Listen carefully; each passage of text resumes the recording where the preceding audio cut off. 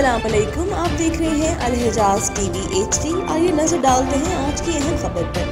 मजीद खबरों के लिए विज़िट करें हमारी वेबसाइट www.alhajaznews.hd.tv और www.alhajaznews.hd.s पर रावलपिंडी से मलिक साहब कयूम की रिपोर्ट के मुताबिक रावलपिंडी के रास्तों को सील करने का अमल शुरू कर दिया गया।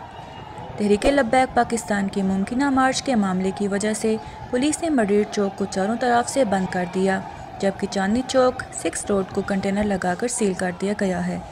लियाकत रोड, गवाल मंडी चौक पर होटल, तंदूर, जनरल स्टोर समेत तमाम दुकानें बंद करा दी गई हैं, जिसकी वजह से गरीब दिहाड़ी मजदूर परेशान।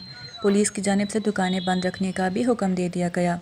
तहरीक लब्बैक पाकिस्तान का जुलूस रावल पिंडी की तरफ़ रवा दवा तहरीक लब्बैक के कारकुन, रस्ते के तमाम कंटेनर्स हटा रहे हैं।